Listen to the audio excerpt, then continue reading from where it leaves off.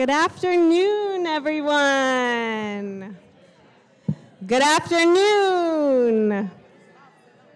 Can you hear me? Fantastic. Hi, it's so wonderful to be here in space with you all. Um, I'm Jamie Gahlon. My pronouns are she, her, hers. I am the director and co founder of HowlRound Theater Commons. I am a white woman with brown hair and glasses, and I'm wearing red lipstick. On behalf of the International Presenting Commons and HowlRound, I'm delighted to welcome you today to International Presenting Now, Collaborative Models, Practices, and Pathways Toward a Sustainable Future. A huge thank you to Susan Feldman and everyone here at St. Ann's for having us.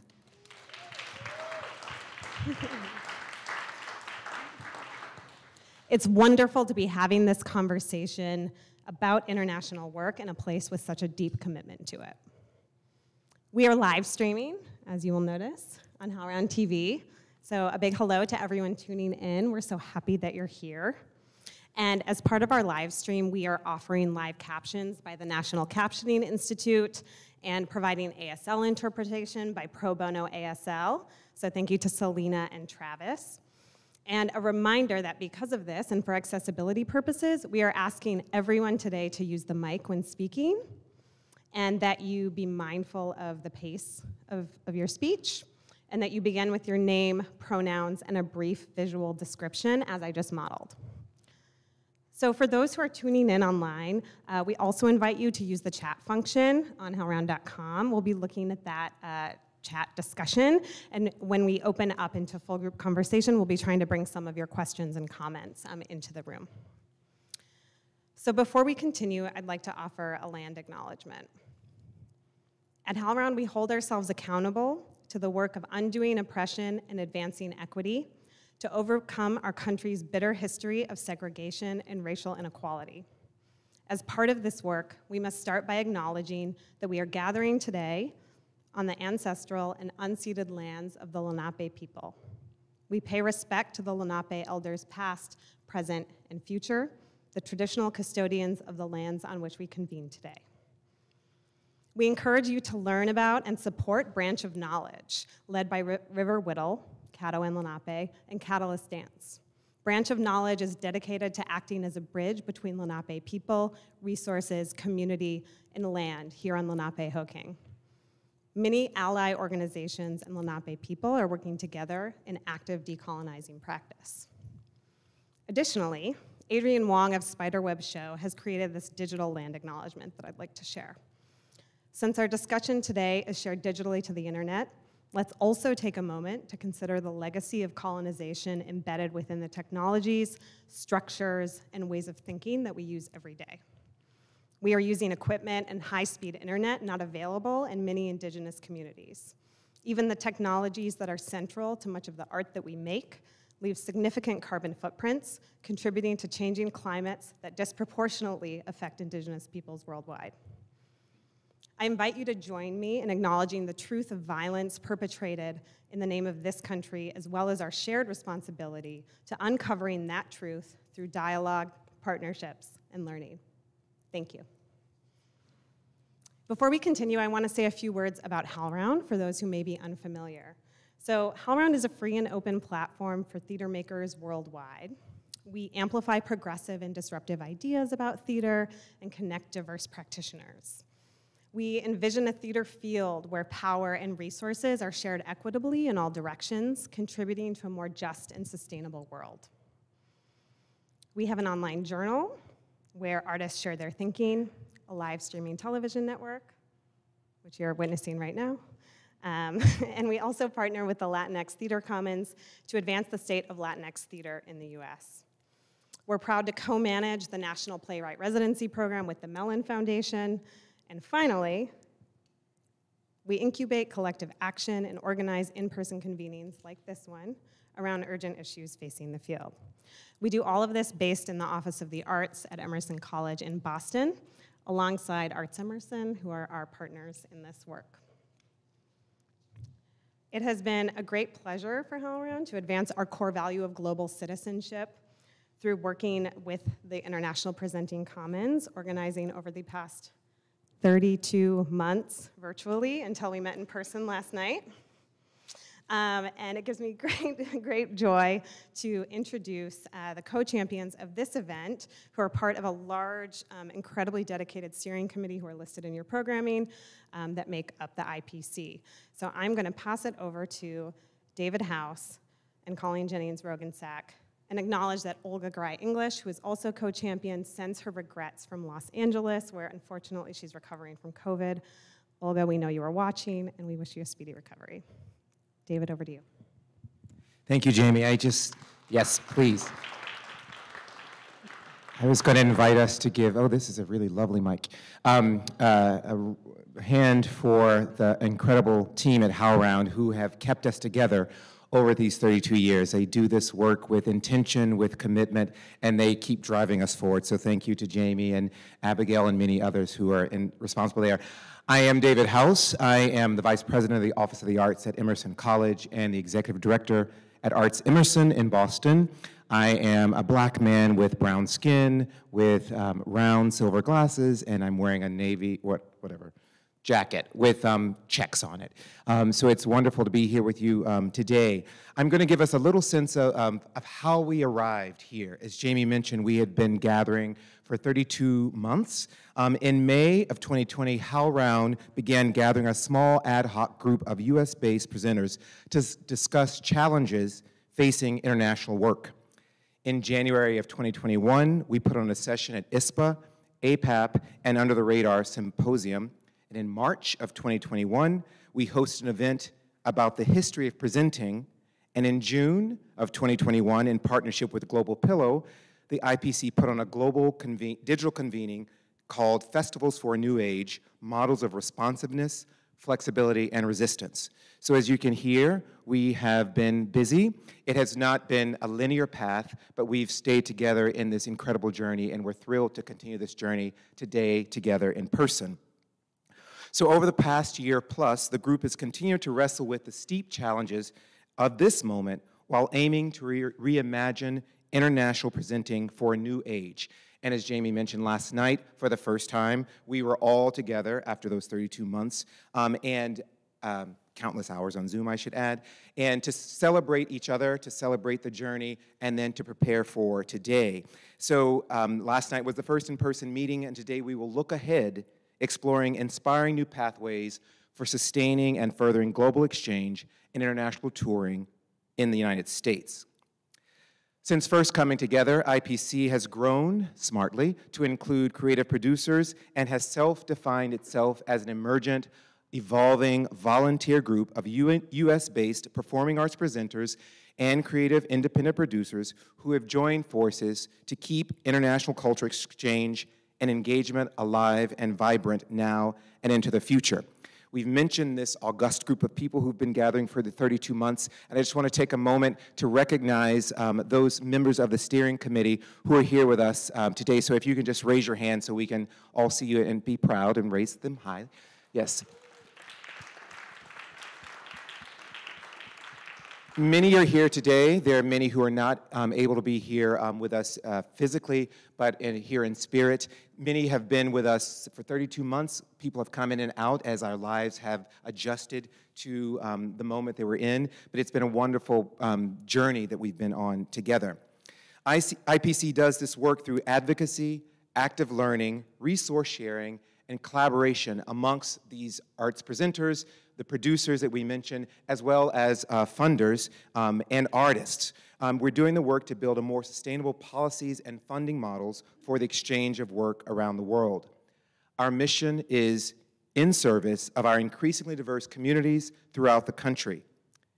IPC celebrates its role as part of a global cultural ecosystem and by partnering with artists and presenters from all over the world.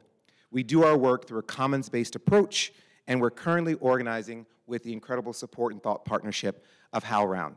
And now I'd love to turn it over to my esteemed colleague, um, Colleen, who needs no introduction, to offer a few remarks. Thank you, David. I'm Colleen Jennings Roggensack, Vice President of Cultural Affairs at Arizona State University and Executive Director of ASU Gammage. I am a black woman wearing a black beret, and thanks to Susan Feldman, standing in St. Ann's Warehouse. The genesis of this event is rooted in our desire to bring together artists, presenters, creative producers, and funders to uplift innovative models and explore new collaborative practices that emerged during COVID and that can contribute to building a sustainable and robust ecosystem for the presentation of international work in the United States, and to develop resources to support U.S. artists writ large. IPC is premised on the belief that global live art exchange remains essential to the world, in particular to the cultural health of the United States as a wide, whole, and diverse individual communities that presenters and artists serve across our country. We have intentionally structured today's convening as a conversation circle, as you see in front of us, and a listening circle of which we are all a part of. We chose this format because we wanted this to be an evolving conversation that could invite participation from many people rather than a formal panel. We'll begin by hearing from the conversation circle and then opening it up from contributions from the listening circle.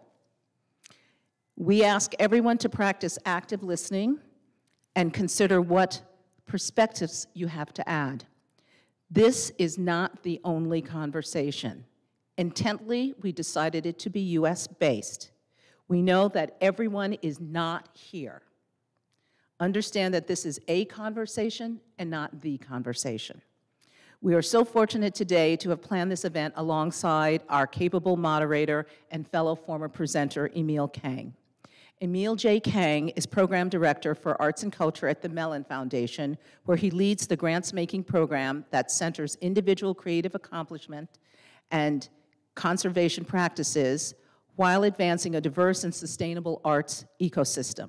Previously, Emil worked at the University of North Carolina at Chapel Hill, where he served as a professor of practice of music and executive and artistic director of Carolina Performing Arts, a major multidiscipline performing arts program that he founded in 2005.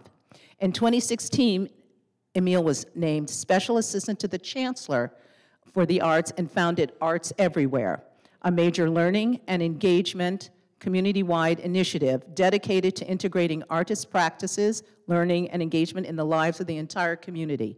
Previously, Emil served in a variety of roles with orchestras and symphonies across the country, most recently as president and executive director of the Detroit Symphony Orchestra. Emil continues to serve as a member of the National Council of the Arts, having been named by President Barack Obama in 2012. Everyone, Emil.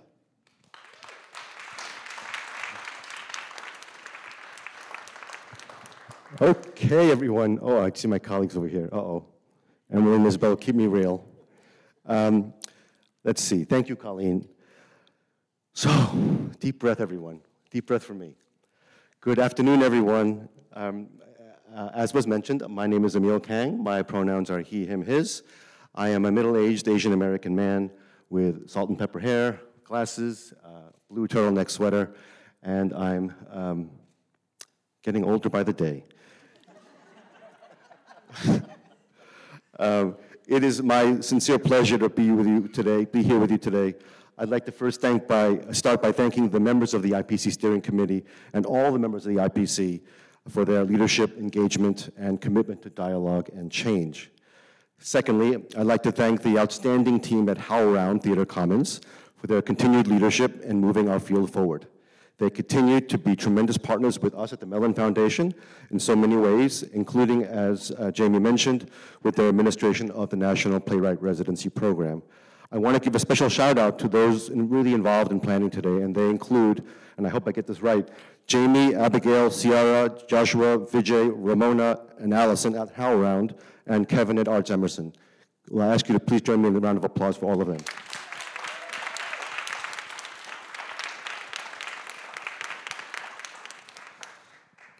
I want to apologize for those who I have my back to. Um, it's not intentional. Although there are times I wish I, anyway. Um, it's great to see some of your friends and colleagues here. The conversation and listening circles gives us a way to get into deeper dialogue, I believe, with such a, a large group of people here and online. And as you uh, can gather from the program, um, the group here in front of you today uh, are mirroring those around the, uh, the, the listening circle, and they include presenters, uh, creative producers, artists, and funders. We have structured this conversation so that for the first 50 or so minutes, the conversation circle, that's this group here, will engage in dialogue. And Abigail will be our timekeeper, so thank you, Abigail. Um, we ask that everyone in the listening circle to hold any questions uh, or comments, but please do, as mentioned, engage in active listening. Uh, at the appropriate time, just after 50 minutes, we will invite your literal participation. And we'll be very interested to hear your, uh, you all expand on the perspectives that have been offered so far. Our sincere wish is for an open, transparent, mutually beneficial, and generous dialogue.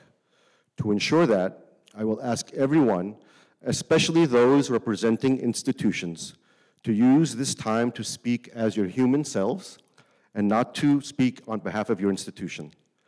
By that, I mean, I hope um, that uh, we will all be able to express more than answers to questions, um, but our own respective vulnerabilities and truths. As we have an equally important audience on Zoom, I'd like to start by letting everyone know who is here in the conversation circle. I'd like to, like to ask each of you to share your name, your pronouns, affiliation, and offer a brief visual description, all in 30 seconds or less, please. So I will start to my right to you, maybe. Uh, good morning. Uh, May, my name is Meiyin Wang. I'm the producing director of the Ronald O. Perelman Performing Arts Center, uh, which will open in fall of 23. Uh, I use she, her pronouns. I'm a Chinese woman with black, starting to gray hair, uh, mid-length, and wearing navy blue. Good afternoon, everyone. My name is Michael Orlove. I use he, him pronouns. I am the director of state, regional, and local partnerships and international activities at the National Endowment for the Arts. I am a uh, aging, middle-aged and aging uh, white man uh, with a receding hairline, um, sadly, and a wearing a gray uh, sports coat. Hi, my name is Mara Isaacs. I'm an independent producer and founder of Octopus Theatricals. I am a white woman with brown, unruly, curly hair and glasses, and wearing a turtleneck sweater that is mostly black with a touch of gray and tan. My name is Rika Iino. I use she, her, hers pronouns. I'm a mother, uh, entrepreneur, and uh, founder and producer of Sozo. Um, I'm an Asian woman of Japanese descent. I'm wearing a flowy yet structured outfit today. I'm Du Yun. I'm a composer and performer. I am short. Um, I'm forever young. And, and nice to be here. Oh, what do I wear? A big heart. Hi, good afternoon, everyone. Uh, my name is Ronee Penoi. I am Laguna Pueblo in Cherokee. My pronouns are she, her, hers, and I am delighted to be Director of Artistic Programming at Arts Emerson, uh, as well as joyfully uh, covered in uh, freckles and with a very loud laugh. I have been reaffirmed earlier this morning. Um, so uh, let's see, did I do it? I did it. Visual description uh, long brown hair white sweater with a big black flower on it. Good afternoon, everyone. My name is Zeyba Rahman. I'm South Asian, Afghan, and Indian, and I use the pronouns hum, which means we in Urdu, and all the female pronouns. I'm uh, wearing a red jacket and have sort of middling salt and pepper hair.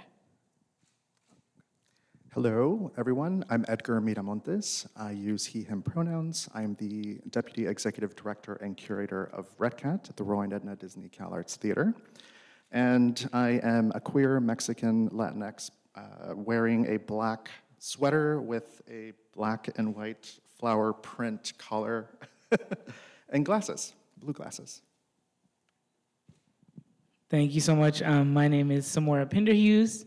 Um, I go uh, use he, him, his pronouns. I'm a musician, composer, filmmaker, interdisciplinary artist, and the creator of the Healing Project. Um, and uh, my uh, identity is its own panel, but uh, I never know how to answer this question for visual, but um, I'm a, a person of mixed descent, um, and I'm wearing a very fly green serpent outfit. Hi, everyone. My name is Roya Amirsoleimani. I use she, her pronouns. I'm the artistic director and curator of public engagement at PICA, the Portland Institute for Contemporary Art, in what is known as Portland, Oregon. And I am a, uh, an Iranian American woman in my late 30s, uh, dark brown, almost black hair, pulled up, black shirt, olive pants, black shoes. All right, thank you all. Um, just so everyone knows, we have uh, three roving microphones in the circle, so I'll ask you to uh, share them freely with each other. Uh, but know that they're always going to be hot, so uh, please, if you are not using it, don't rub it up against yourself or anything like that, um, for lots of reasons, um, at least out here in public. Um, thank you very much. Um, as a reminder to everyone, I'll be moderating a conversation with just this group. Uh, and I have a series of prompts that we'll use to get the dialogue going.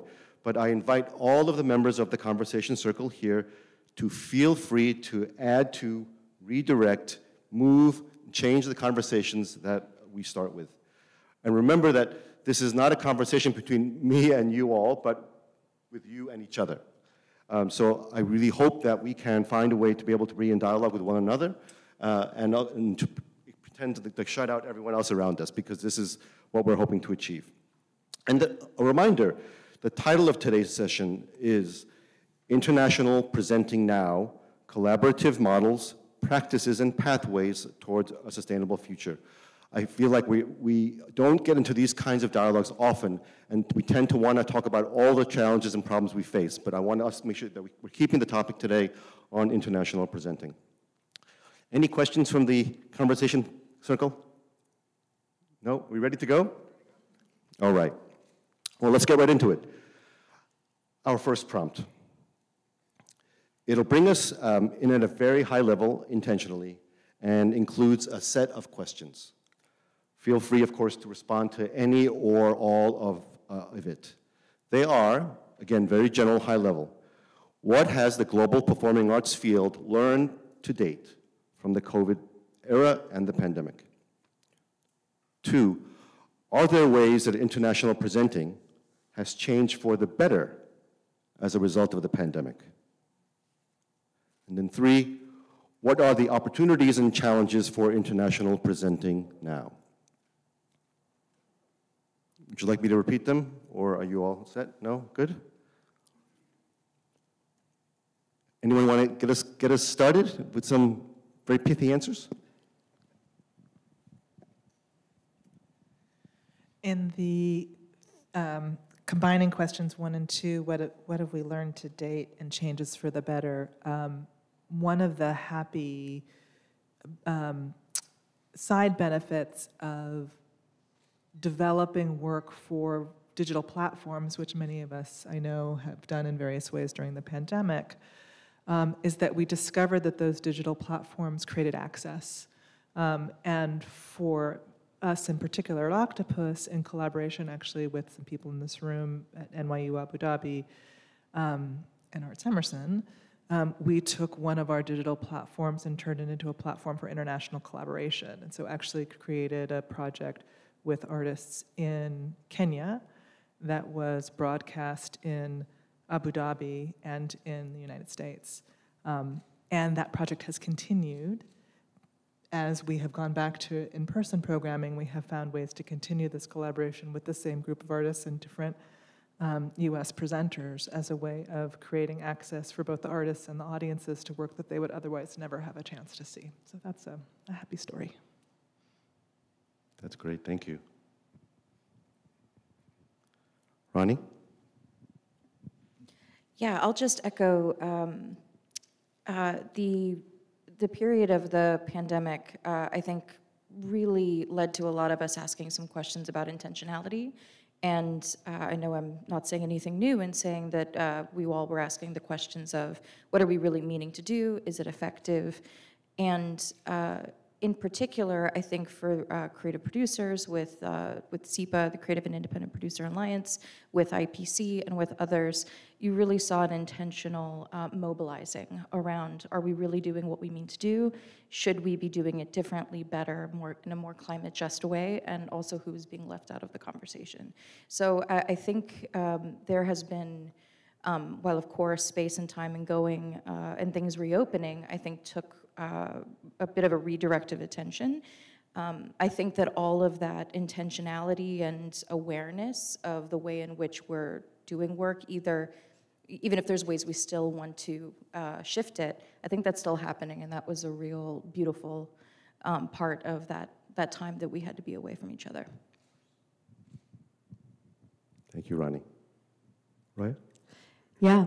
Um, I have been thinking a lot about the ways in which the interdependence of our field was revealed in the wake of the pandemic, um, that organizations and artists were facing um, an increasingly vulnerable situation and relied on each other to stay afloat. Institutions relying on other institutions, artists on each other, and then everyone um, within communities and within the broader community that, um, that is our field, uh, nationally and internationally.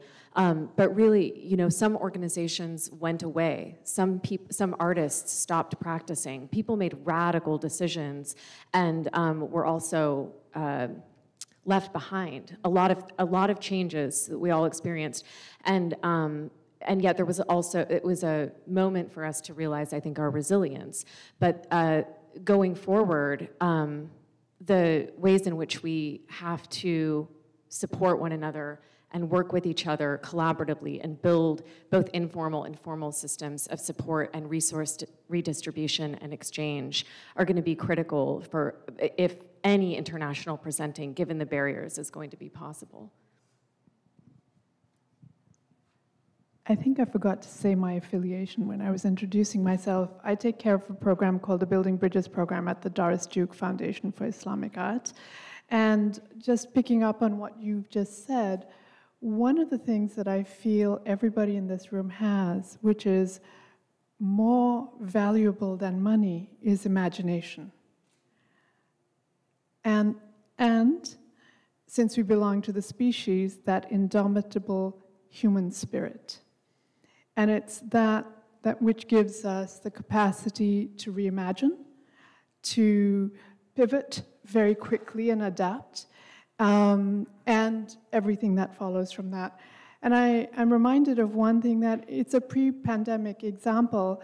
Uh, one of our grantees, the Georgetown University Lab for Performance and Politics, was um, in 2014, I think it was, Derek, um, presenting Syria, the Trojan women, and the inevitable happened, which is that the women, the actors in this piece, were denied their visa. And what the lab and its organizers did was create a summit with the Trojan women, um, with the Syrian women, on Skype the, in those days.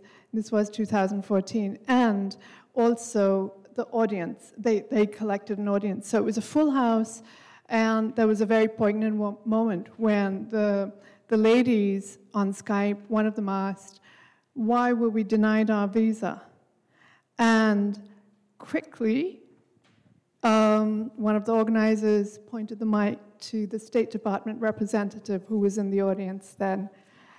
And he said, It was just a bad day. I hope I'm not mangling this, Derek, but I think this is what it, he said. Um, and I bring this example up because of what the lab did in response to a crisis, which is they could not put on a live performance. I'll stop there. Thank you. Um, I think just thinking about uh, uh, self reflection, I think what happened is taking a step back to think as to what. Uh, what brought me into the arts to begin with, and, and so thinking about how um, the lack of access I had, and to think about the access that um, uh, I wanted to give folks. We continued working um, to uh, work with artists during the pandemic, But it was really kind of thinking about um, what difference can I make right now during this time. Um, and we had projects that were um, leaning into uh, working with video. So we paired up a lot of artists with uh, uh, those who had that kind of access to video components and things like that. And so we worked with a Chilean artist, Guillermo Calderon, who had a project that was to come uh, to uh, where we were and made a film with it that was really about the um, uh, democracy shifting in Chile. And so we partnered with Arts Emerson to be able to uh, give the resources to be able to make that film and then have both of our audiences join together. Um, and it was streamed through Arts Emerson and also to our audiences at REDCAT. So this collaborative kind of thinking really quickly and pivoting was really important for me. And thinking about what, why it matters and why, that, uh, why working together matters even more. Um, I just wanted to respond quickly to what Ronee you said about intentionality, and I've been thinking a lot about the move from sort of this short-term value extraction to long-termism, um, as I like to call it. Um, this sort of notion that you know performances aren't enough um, and how do we, especially as producers, and, and actually shout out to producers in the room and, and um, creative producers that are doing this work, this um, attention towards process as the product and how that ultimately stretches the timeline of our work together. Um, so been thinking a lot about that and you know what that means in terms of um, equivalence in our sector is giving um, a kind of more decision-making authority to the, those on the edges, so artists and producers in my case. And um, for me, it translated into work like ethical and equitable contracting between institutions and artists. It has also translated to um, mentorship and coaching work to empower artists to become entrepreneurs. And these are these were fast-tracked by the pandemic, but things that have been in need for probably decades.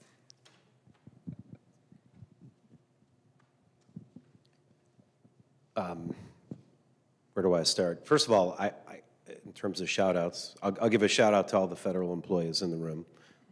I'm the only one. Um, it's really humbling and, and inspiring to not just be in a circle with so many incredible folks, but being surrounded by colleagues that you've worked with over the years. And Ronee brought up um, a, a, couple of words that inspired me to think about um, flexibility. If there's something I learned, and this is in my perch, not as a producer, not as an artist, but as a, a funder, um, flexibility and having the ability to um, allow folks to do work in different ways. And, and going to what Rika was saying, um, we need to be able to let work take place over time. And um, there were some really inspiring conversations that happened at the beginning of the pandemic, um, very much about how work is going to be produced, how work is going to be created, and, and I learned a ton about flexibility and that's something I, I really take to heart. One other thing to mention, it's not something we learned. It was more of an, uh, uh, an affirmation of how much we need in this earth, in creativity and the arts. I think there was no better um, exclamation mark than the past two years and how important it is that we have um, access to the arts whether it's in live form, in digital form, in some kind of hybrid. I mean, that, my wife is a, is a, um, a school teacher, and so for the first year and a half, we share an apartment, and she's teaching, you know, six feet away from me, separated by a wall. And what I found so incredibly inspiring, she's a math teacher, but every day there was some form of artistic inputs being given to the kids because they needed it. And again, I, I think if we all, not this room learning, but the greater world, we need the arts more than ever. And uh, it was a great experience um, in a very bad situation. Thank you, Michael. Uh, Um, I just wanted to take this moment to thank to those of you who paid the artists um, during cancellations um, because you're not only paying one artist, you're paying the household, the lively blood. Um, the, also, you're earning a lot of loyalty to the organizations moving past COVID. I also wanted to um, uh, thank to those organizations who stood up to governments. Uh, the, we, we, had wars happening. Um, I, I, saw organizations who bypassed the rigorous um, uh, board meeting structure and really called for refugees and for funding, immediate fundings for the war refugees. And, and uh, I saw so many Ukrainian artists um, uh, being able to survive that day. Um, so I was also thinking about um, when we are thinking about, about make, when artists are thinking about making work, putting on stage, sometimes it's not about this proscenium that we are thinking is a, a, a, piece. It's about human connections. And I wonder about this kind of organizations, what we are doing here, like what in the end, at the core, what are we making? Is it that from end to finish line, or is the end well, beginning to end line is something more flexible, as you were saying, and, um, and to defy COVID, to defy war, to defy political coup, and so on. So thank you for paying, and thank you for stand up together with us. Thank you, Duyun. Samora. Uh, yes, um, totally echo all of that, and um, also uh, piggybacking off of that, speaking a little bit from the artist perspective. Um, of just a few quick thoughts come to mind. Um, one is I, I definitely, you know, I, I think that there was a real reckoning around the um, artist's ability to survive and what the artist economy looks like in every field. I mean, obviously, I can speak to it most specifically through music and then learning through the other disciplines. But you know, um, without touring, there was like every no musician was able to live because they had no health insurance, they had no livelihood. And so I think the, the bad part of that was that obviously people were, were wrecked by the, the situation and that they realized that there was no long-term framework for them to survive as is. The positive part, I think, is that that number one, that was seen by the wider world, hopefully, and also that it was, um, it opens up a space for it to be realized that that type of process cannot be enough, where an artist can has has only one means of survival, which requires them to be very unhealthy with their body, to go out and do one show and then to travel to another show the next day and travel to another show the next day.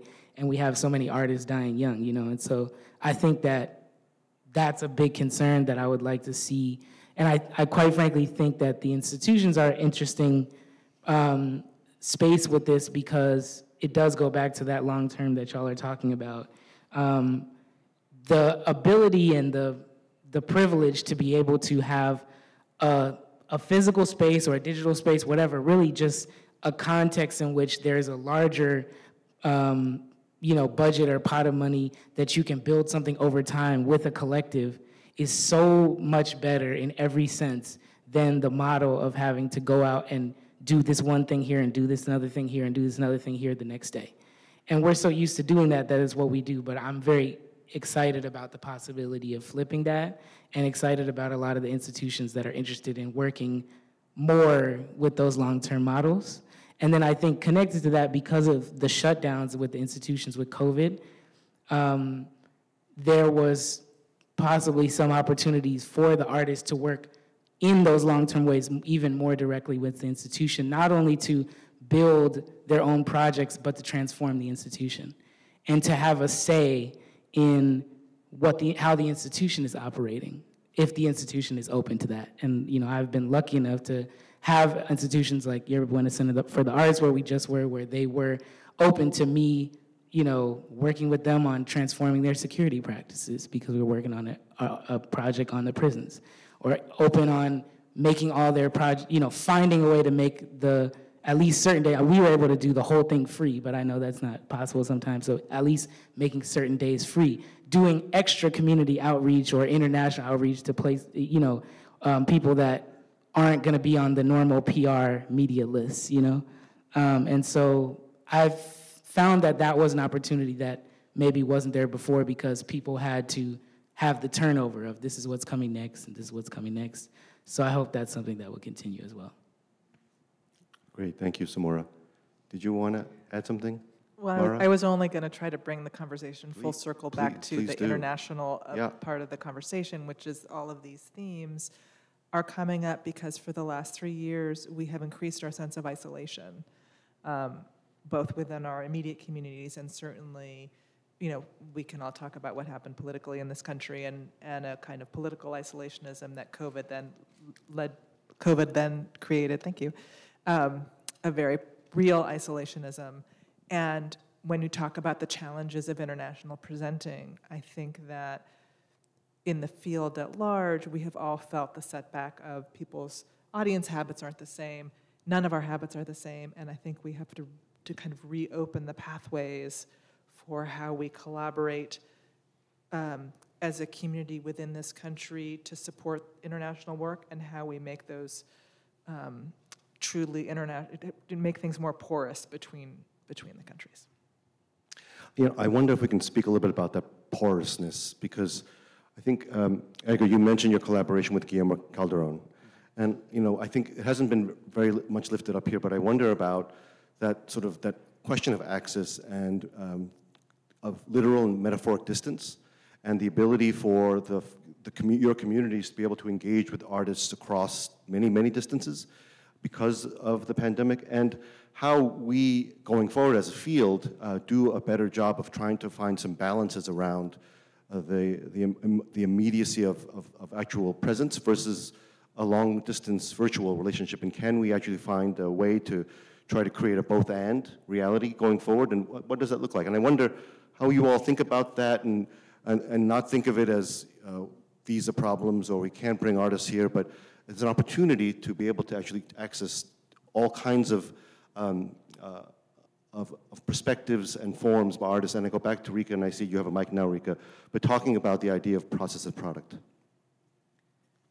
Um, there's this notion that I'm studying called real virtualities, that there is um, the real blend and synergy of physical and um, virtual spaces that I, I hear a lot in this space, especially about, oh, in person is always so much better than virtual, or there's this sort of binary um, understanding of our world, but I think increasingly um, it's both. And so, you know, how are we embracing that in our process? And I think about Netflix success, for instance, with, you know, hits like Squid Game, for those of you who watch series like that, or Money Heist. You know, they took the sort of defragmentation approach and put the onus on their international producers to create content that appealed to their audiences. Instead of saying, here's how it works for Hollywood, so you have to make things this way. Um, and that has led to, I think, you know, over 80% of their new subscribers during the pandemic being outside of US and Canada. So I'm thinking about that and thinking about our virtual uh, artists that are creating in these spaces.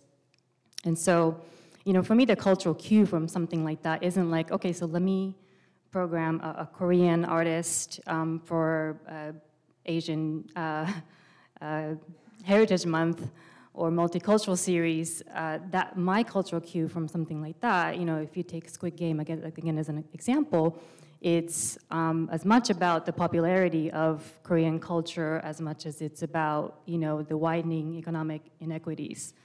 So my cultural response to that would be, okay, so could we find a Korean new media artist working with an American scholar that would bring together a design team from Global South and design a lab for two years. Um, maybe at the end there is a performance, maybe not. Um, so that's sort of where my mind is going when I think about virtual and physical. And you know, there's things like Microsoft Mesh, right, that like allows people to engage virtually, not in a solo, siloed, like goggle world, but in a much more collaborative world. So I think the technology is advancing in really great ways to allow us to um, include not just sights and visuals, but also haptics and sense even. And I know Samora, you did a piece with virtual reality um, element included in that, but artists are doing this work. We don't have to make it up, right? So we're just following the lead of the artists. Thank you, Rika. Anyone else? Samora? Well, I, I would love also to hear because we were talking before about that specific collaboration, but so I won't talk too long. But just because you mentioned it, it just made me think that, and I'm sure this is how people are thinking a lot already. But the um, the way that that I ended up doing the, the the VR project version of the healing project is just from the question of how, like this is the only way that we can get it to these people, right? This is the only way. And so instead of saying, oh, we just can't get it to those folks, it was like, oh, that's the way to get it there. So we have to do that. How do we do that, right? I had no idea how to do that. Then the next version of what we're doing with that for the project, right, is, well, we can't get that into the prisons because JPay, you know, connect all these evil companies, they won't let them have access. So we have to create a book version because that's the only way we can do it is mail it in the, in the send it in the mail, right?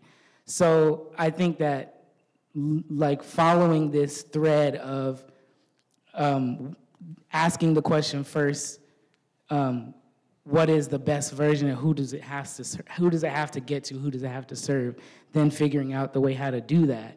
It seems to me a much better model than the question of how does this work the easiest way, you know?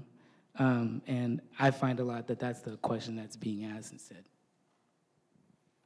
Um, yeah, no, I think uh, in talking about learning um, and lessons learned during the uh, pandemic, but also just thinking about um, uh, creating work internationally or commissioning new work internationally. Uh, uh, how does it reach the communities that you're working with in advance? And so part of the thinking of developing new work is thinking about uh, not being afraid of the technology or of the Zoom that we think that we've over-Zoomed, but to think about um, how we can bring in our communities that we're serving in the cities that we are, um, that are reflecting the work that is being made across the borders, and um, begin to kind of think through what that connection is, even if it's virtual. And then also, if you could, as, as, a, as a place of gathering, invite folks to come there who don't have access to their own internet service, perhaps, or um, to kind of just think about elongating that process throughout the time so that when they do come and make that work, um, they already have a connection to that artist um, when they come to present the work um, or do something in person.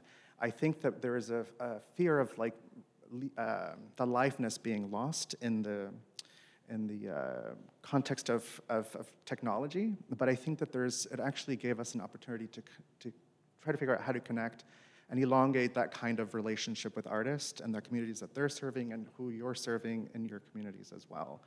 Um, thinking about digital communities, actually, they exist and they really uh, are really um, robust. And so how do we also think about that as well? Um, um, I'd like to add to the technology question and also the uh, point about porosity and the collective, working in the collective and how rich that is.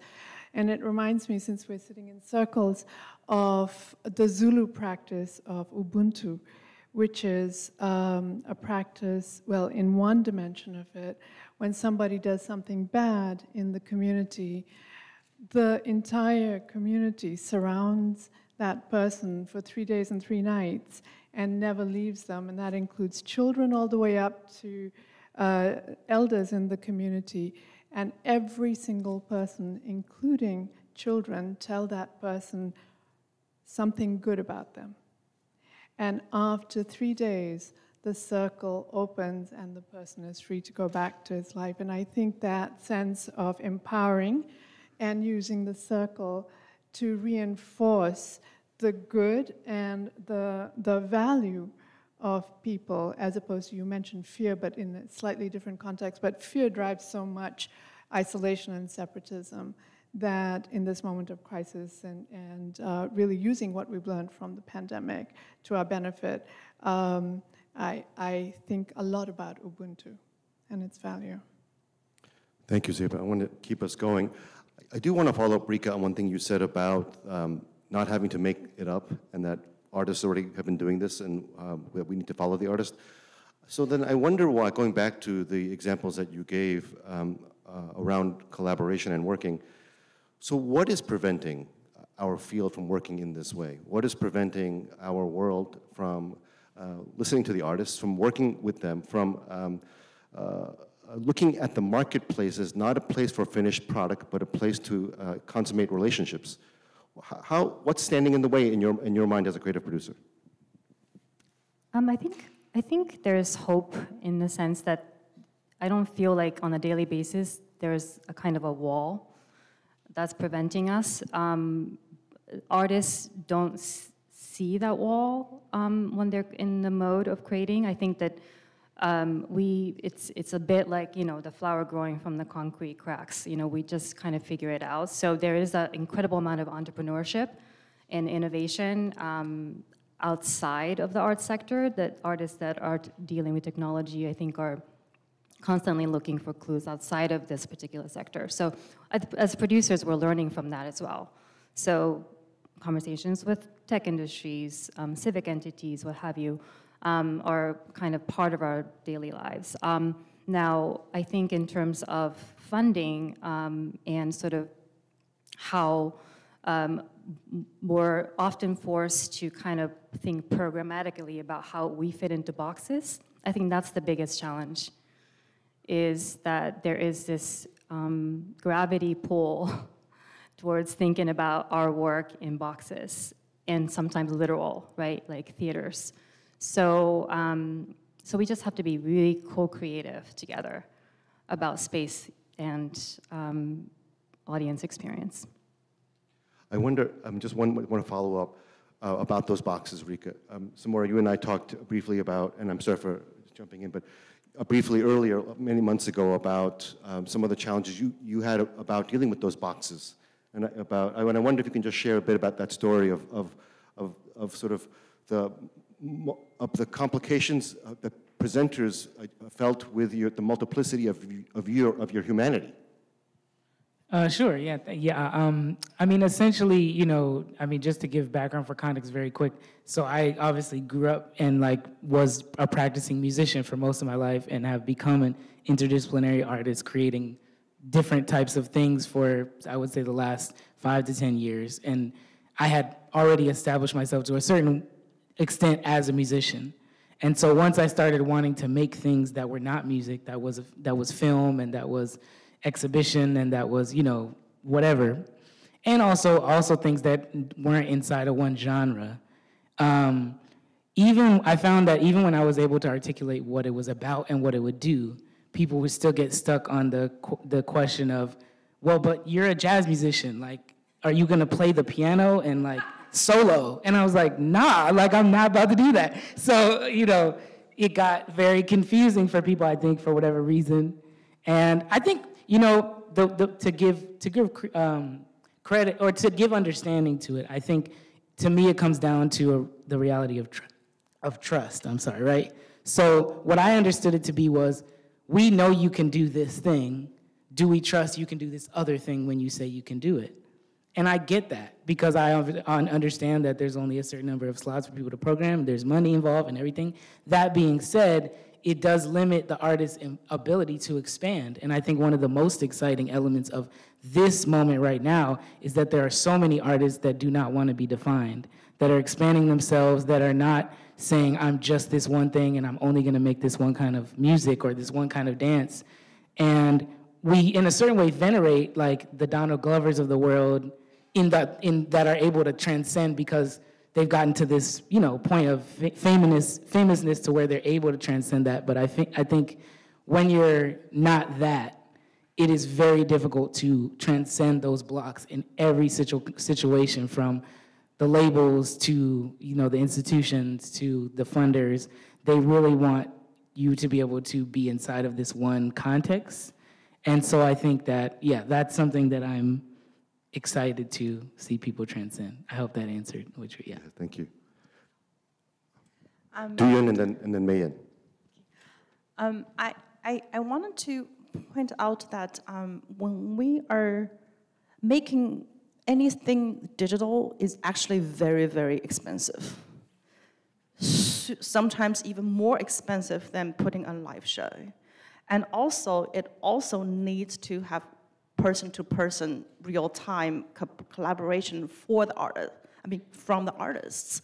It's not something that you sit at your desk and voila, and you're making a Netflix-looking video. It's, it's not happen, and, and the, the editor charges a lot of money. They charge on a market rate, and we're not even talking about equipment.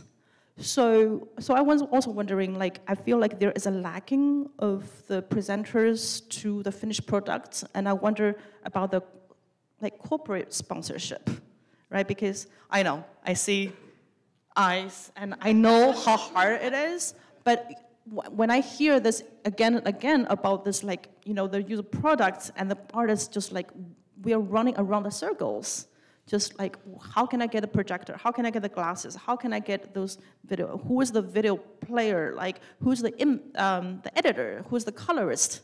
Gonna make those happen. And it's that kind of scale is completely different than you make your iPhone and do something. And because in the finished product, we all wanted something fancy.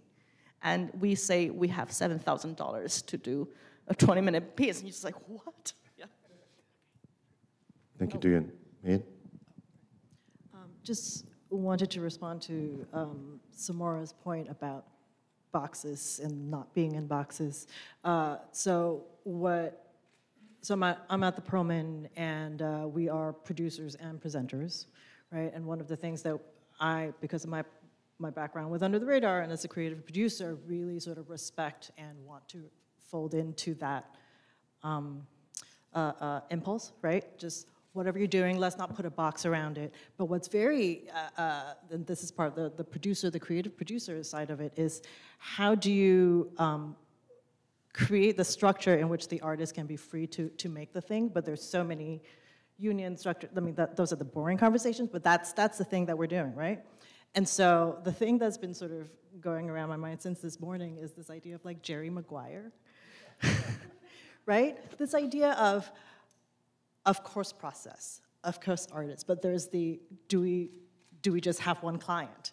Right, and as an organization and, and, and, the Perelman, like that, that is not our remit and, and the mission, and so we have to go like, who, who are who are our Cuba Gooding juniors, you know, that, that we have to concentrate on. And, and so like we can't, as an organization, I keep thinking about it, and me as a producer in my time, of how can we, um, how do we sort of identify the artist and have that long-term process, right? And then there's some other projects that, honestly, you just have to be more transactional, right? And we, we can't be, um, we can have so many projects that is about that process because we want to be able to put our resources, our producers, our, you know, our general management mind, contracting mind, to sort of like go into that. Um, so that is, you know, when, when Emil's like, be a human, that's what I'm struggling with because I want to do that with all of the artists that we're working with, but then I would, we would have three, and that is sort of not the, that can't be sort of the, the you know, all of, all of what this organization, this theater is doing. Um, yeah.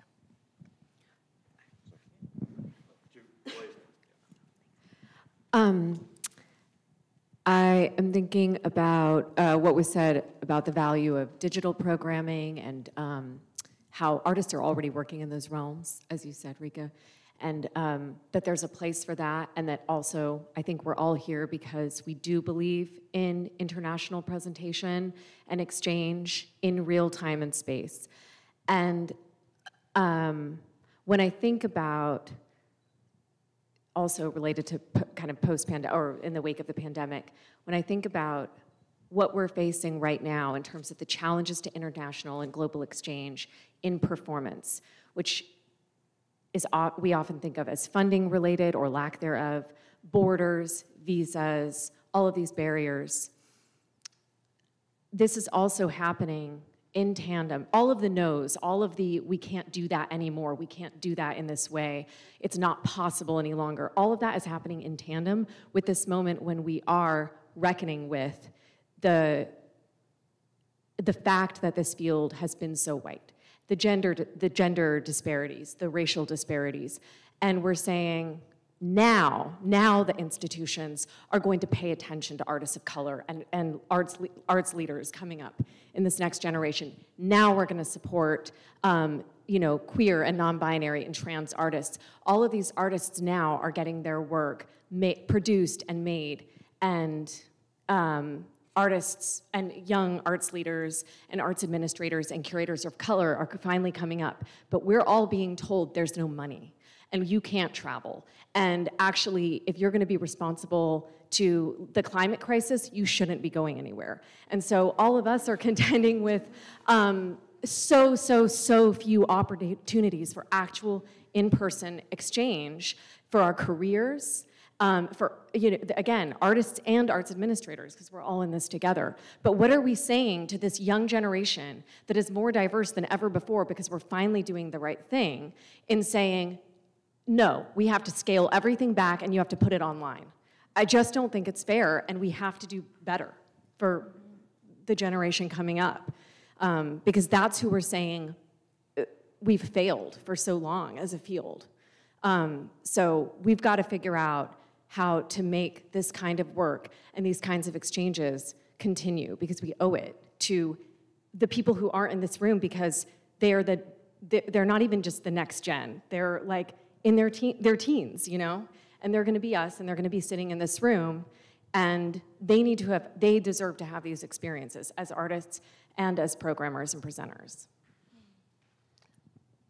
Um, If this were a Zoom, I would put plus one on that, Um, or plus a 1,000. Um, Very well said, Roya. I, I- I wanted to go back to maybe the original prompt, Emil, about hurdles. No, no, it's fine.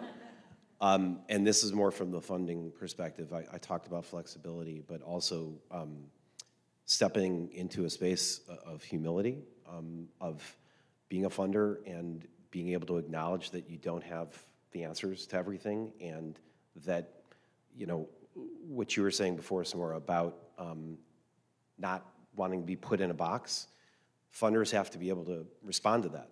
And I, I have done a lot of soul searching these past couple years um, about trying to figure out how we best support the field. And it's okay to be a funder and actually not have the answers and ask for help and ask this incredible, you know, room of folks and beyond how we better support, you know, creativity in this country and, and beyond. And I, I think that's something people forget. Humility is, is um, not necessarily the, the best character strength of, of funders around, around the country. And um, that's something that I've carried along with flexibility is trying to figure out how we can support. Um, you know, I've been in conversations recently, um, and this, I'm, I'm not going to take us in a different direction, but I'm just using this as an example. You know, is the 501c3 system we have the best system? We've been using it for 40 plus, 50 plus years. You know, should we stand up and say, hey, maybe we need to rethink this? We don't have the answers. Um, you know, being humble and actually asking your colleagues questions about how we can work collectively better. So that's just, it's not a, a- an answer to your question as much as an acknowledgement of what some hurdles are. We have, we have five minutes left, but um, I- I don't want to stop the flow. Ronee, I think you wanted to go next. I'm sorry, I'm not speaking in the mic.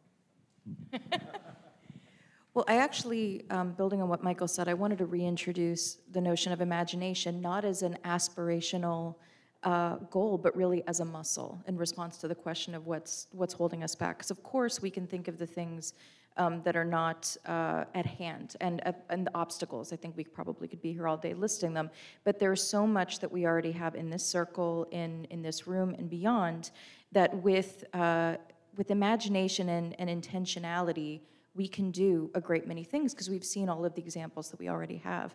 I mean, I'm hearing so much about the porousness, uh, not only of um, technology, the porousness of um, the kind of boxes that we're in, the porousness of um, uh, thinking not about the work as a uh, commodity, but about international exchange as something um, that is a, a, conversation over time. It's trust over time, and it's uh, there is porousness of time in terms of it doesn't have to just be about the, the work on stage.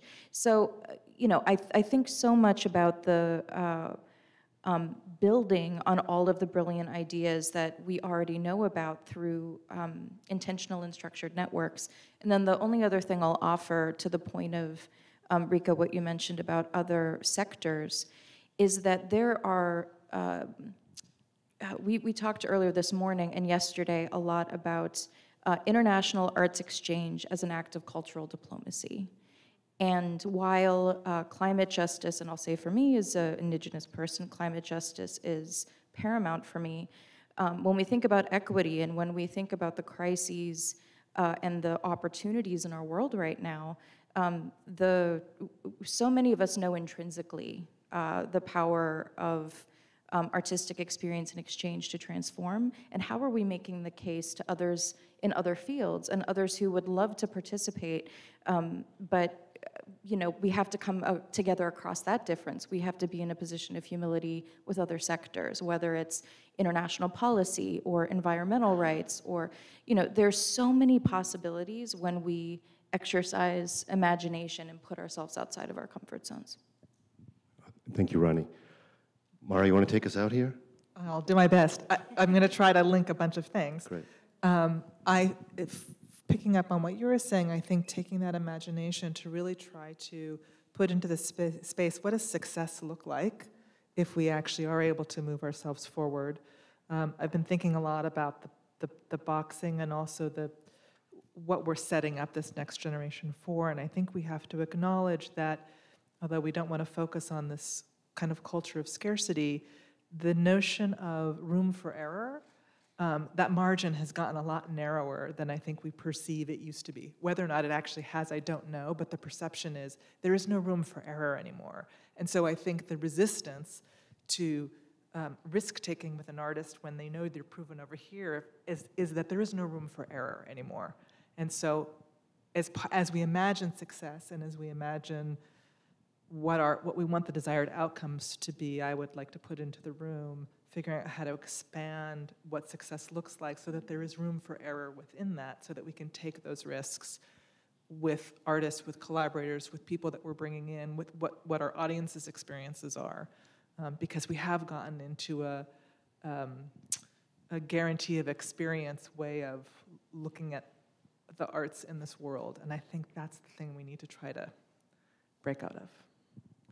Uh, I just want to um, bring this all together by just talking a little bit about um, the separation from art and artist, the distinction between the two, and the relationship that I think for so long our field has been focused on the product, as, as we know, and not on the humanity of the artist. And I, I wonder in all the ways that we've talked about here, if the marketplace for art can shift to the marketplace of artists, and what does that mean? That sounds a little manipulative, and I don't mean it to be, but the idea where we're actually seeking relationships with others, and that's what we're actually working on, and we're not focused on what the product is. And I know that seems quite obvious, but I feel like what we're hearing from the artists in this room in particular um, is that they're still struggling to find a way to build relationships with the ecosystem of presenting in the world, both locally and abroad that actually sees them um, for their full humanity. And so what, what does it mean and how do the structures, whether it's the nonprofit sector or the for-profit sector or um, our world as a, as a whole, how, how, do we create the structures that we need that actually can um, celebrate those things that we're all actually trying to do here? And we don't have to answer that question now, um, but I guess this would be just a good moment, and uh, is this time, um, to think about opening it up to the larger group here. Um, we, um, let me just make sure I move on here.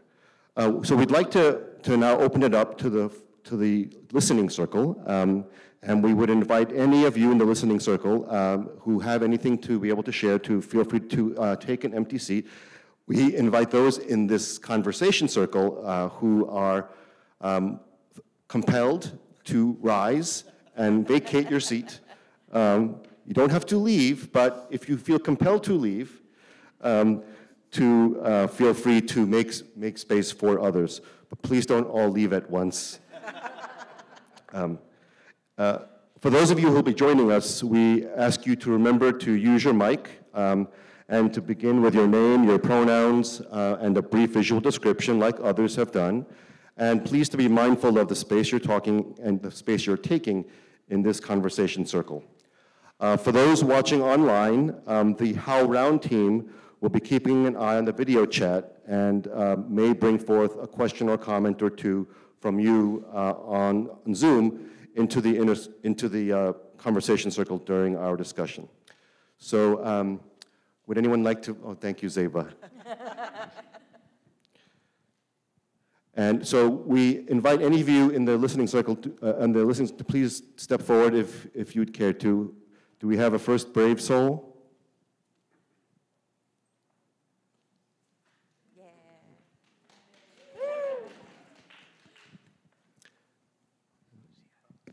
Thank you, Lindsay. Hi, welcome everyone. I'm Lindsay Bostwick. I'm a queer woman of small stature wearing a black and white textured dress. And I have been at the Art Center at NYU Abu Dhabi for many years, now back working in the States at a resource center uh, for emerging artists at NYU. And thank you all for this conversation. Uh, oh, sorry, I should say she, hers, hers pronouns.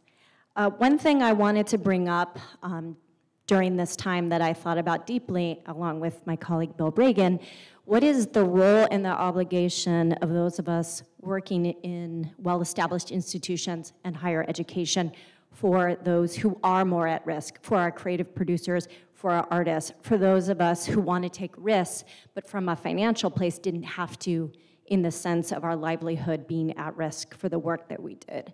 So what can we do? And I think about artists like Meklit Hadero, who is both a brilliant artist, programmer, and curator, and the work she put forward with Yerba Buena with guaranteed stipends for artists. How do we not just think of that as a small band-aid, but how do we think of that and how do we think about having producers and residents at universities? How do we think about providing space so that we're mitigating risk for other people along our field? So just a thought. Thank you, Lindsay. Duyan? Oh, I just want to bring a point and then I'll leave.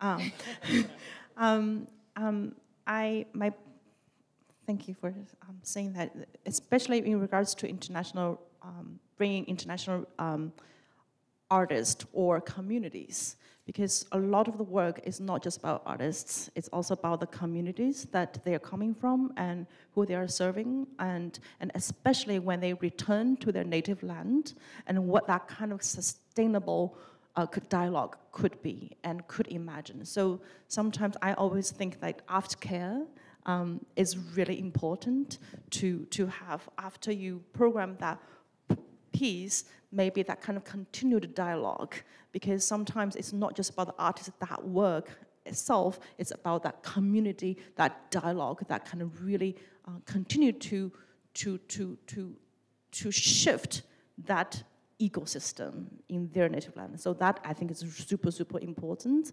And also how to kind of mediate um, uh, the, the, the, the, the West uh, press uh, sometimes maybe it's not about review, maybe it's about previews, maybe it's about story, maybe it's about something because when we are um, programming artists coming from certain regions, um, they have to go back and still have a sustainable career.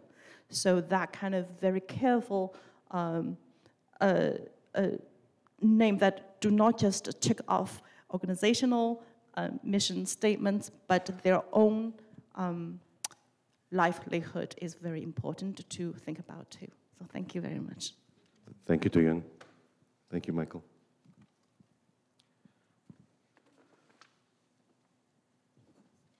Uh, and please feel free to join us, but in the meanwhile, Ronee, please jump yeah, in. Yeah, I'll make a, just a quick um, comment um, something that came up uh, in some of the mornings, this morning's conversation that I think responds to your question is, you know, this idea of a co-op model. So um, I think Edgar, you might have brought it up. Um, so not to speak for you, but I was so excited by it. Um, you know, the notion that for uh, for larger institutions or individuals, you know, who really believe in this uh, work, how are we pulling together to do to really support some of the initiatives and people, um, whether it's uh, you know creative producers, whether it's um, artists, you know, the systemic uh, change that we want to see. How are we all pulling together to be able to do that? Uh, I think is really important. Um, good afternoon, everyone. My name is Joshua Heim, and I am a, um, I use he, him pronouns. I am a uh, mixed race Asian American Caucasian man with black hair, black glasses, and a black shirt. I'm, I'm an arts person, obviously. And um, I just really appreciate this uh, opportunity in this conversation. I'm very new to this particular community. Um, I am now the new executive director of the Western Arts Alliance, and we have a very significant program in this space around international arts. And we do so in partnership with Michael, uh, with the NEA. It's, the program is called the Performing Arts Discovery PAD program. Um, but I only started this in September. Before that, I had a life in government. And I wanted to pick up on the conversation about risk and a couple of things we've talked about, Ronee, what you talked about diplomacy. Um, I was uh, the deputy director of a quasi-governmental funding agency, a local funding agency in the Seattle area, and we administered nearly $15 million of CARES and, and, and ARPA funds. Um, and I oversaw all of our grant-making programs. And I will say that, uh, you know, what was revealed in these last two years, whether it's local, domestic, or, or international, is that power systems in general, we all know what they are now. We saw them. And we also saw how tenuous they were and how arbitrary our rules are. And I will say from the point of view of a funder, right? We, as a government funder, we have a lot of rules, and they all went out the door. My colleagues at the city level, my colleagues across the country at the government level, the NEA, all of a sudden, right, we were getting money from places where we don't normally get. We didn't have to report in the same ways. Um, some of, uh, many of our um, fa uh, private family foundations excuse the need to prove outcomes. What? so talk about imagination. It is possible. What did we What did we learn? What have we learned over the last two years? Is that anything is possible. And right now we have the opportunity that that door is closing really quickly with regards to whether or not we're going to go back, or what these new rules are, which I think are actually really, really fuzzy. But specifically, you know, you're bringing up risk, and I will just say that. Um, uh, one thing that we learned in our practice, the place was called 4Culture, and now even at the Western Arts Alliance, or WA, is um, it is not right to put the risk at the tail end of the transaction, which is the artist. And right now, right, the artists are bearing 85% of the risk. And it took heaven and earth to work with our, our government partners to actually, for us to assume that risk. And the way that we were able to do it was to think more like um, private actors and more like businesses. So going back to what, um, I don't know where he went, Michael, and talking about is the 501c3 model the right model?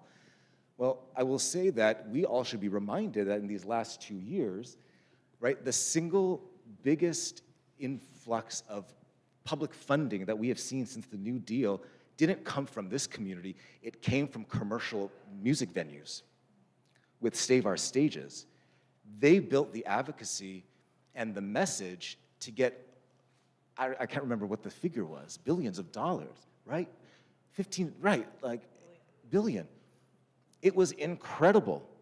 And so, in other words, and we have a lot to learn, I think, from expanding our purview from um, MFA artists. I don't know what the way to talk about it, but to include a much wider um, uh, understanding of what, who our universe is. Because at this move, um, um, point forward, I think we all know that partnership partnership has to happen. As you were talking about, Roy, a partnership has to happen artist to artist, artist to institution. I think it now has to happen with you know local businesses, whether they're they're commercial venues or not. And um, the last thing I wanted to say is, uh, is more like an announcement. Um, I've only been here for three months. I don't know what I'm doing, but I have this really big, important grant from the US Department of Commerce. And we've been given money to um, send delegates of agents and artists to international markets in Australia, in Colombia, and uh, Germany. Um, it's commerce. Where do we sign up for that? Right. and this isn't about diplomacy. This isn't about um, right conferring uh, national identity and pride. This is actually about making money. And so, although I do agree with what you were saying, Ronee, about the, the importance of diplomacy, I think perhaps this is a moment where we need to maybe claw back the importance of business, the importance of sustainability for artists, that what they're doing isn't charity, that actually what they're doing is, is making money for us all. So that, those are some of the perspectives I wanted to share. Uh, Thank you. I, I want to actually just uh, follow up happily on many of the things you introduced because you're actually touching on, from a really interesting perspective, a lot of the themes that the IPC has been discussing. We've been talking about going outside of our normal networks to, to create partnerships outside of the traditional arts sector, and I think that that's something that we should really try to activate maybe in this conversation. Um, and I've already lost my train of thought, so I'm going to open up another. I'm, really glad, oh, I'm sorry. I'm Susan Feldman. Um, I'm she, her. I have curly hair. It's short. I'm wearing a gray blouse and black pants. Um, I'm so glad you brought up the, um, Oh, and and you're with St. Ann's Warehouse. and I'm in St. Ann's Warehouse, yes, which I helped build. Um, I, am so glad you brought up the government subsidy of the last few years because that was an incredible influx that basically saved, and also the foundations like, like Mellon, like Gilman, like the ones that came up with huge amounts of money to basically save the industry or to try to save the industry. And that can't be denied. It, it was, it gave, it gave almost every institution and artist the opportunity to survive. Um, so it'd be nice if that could become a sustainable thing so it doesn't have to only happen in crisis, but that it becomes something over time that uh, is part of the ecosystem. The other thing I just really want to um, acknowledge is the interdependence of the global international relationships. So, for example, um, St. Ann's is able to bring uh, shows here from other countries, in part because we have the support of governments from other countries. And there's no one source that carries all of us or any of us. So it is that combination of, of the international governments that give us support, huge support in some cases. Uh, it's the private sector, it's the, it's the foundations, but I think it has to be acknowledged that it's not just us alone in this country trying to figure out how to work internationally. It's an international, interdependent uh, organism, very similar to the, to the economic organisms. So um, I think we all have to work at it together uh, so that no one is carrying the full burden. I know you feel the burden as a funder, we feel the burdens as presenters, you feel it as the producer. So it's really the interdependence of how we're going to share it in order to support the art so that it can happen. So that's my main point. Um, Thank you, Susan. Just in, continuing to invite others to join us. We have two seats here in this very comfortable conversation circle. Go ahead, Rika. Before I ex- excuse myself from the seat, I just wanted, Germany just reminded me that there is an organization called Purpose Foundation, and I think out of Hamburg, that is pioneering a, a kind of um, uh, what, what they're calling steward ownership, but a, a kind of new economy um, that is impacting the creative um, sector as well. And there's an organization that's US based that's called Creative Action Network that has gotten funding from Purpose Foundation to remain a for profit, yet um, get, getting a group of um, investors and philanthropists and nonprofits to sort of invest in the for profit model, whereby um, the organization is. Um, uh, sort of led by stewards and the control remains in the in, in the in hands of the stewards rather than I guess what has you know what capitalism has sort of perpetuated which is this shareholder control And so I've been thinking about how the art sector can learn from it in terms of where the control lies and power lies. And um, so Purpose Foundation is something that um, maybe you know we can take cues from. I think there's too much of an outlier. There hope, hopefully there's more that like looks to the hybrid models of impact investment um, into the creative um, sector, but that's one that has come up in my research, so I just wanted to share that. Hey, Jennifer. Um, hi, everyone. Um, Jennifer Harrison Newman, uh, she, her, hers. Um, very pale right now, uh, light skinned black woman. It is January. Um, with curly hair, wearing a sweater with a image of a two eyes, a nose, and a mouth on it. Um, I want to come as my human being self, but will acknowledge that I also walk into the room as a creative collaborator, as an independent producer, and as the associate artistic director at a new performance venue, student center at Yale called the Schwarzman Center. Um, so I know many people in this room already from various, various points. Um, and I'm responding to a few things that I've heard today um, and want to sort of frame my, my questions or my, my responses in the sense that I'm coming from this a, a very real place now of a startup within a university um, whose mission at the moment is, is, is to be a place for the arts and also a student center. So we have a, several different um, sort of stakeholders that we're responding to. Um, as a maker, as a creative producer, I am so, and have been, you know, in many rooms over the last three years, and am so keenly aware of the needs and the desires of the sector from the artist's point of view, from the presenter's point of view, from the funder's point of view. And I'm sort of responding to Lindsay's question about what can universities do to sort of be a part of the, the, the I guess, the answer, the solutions.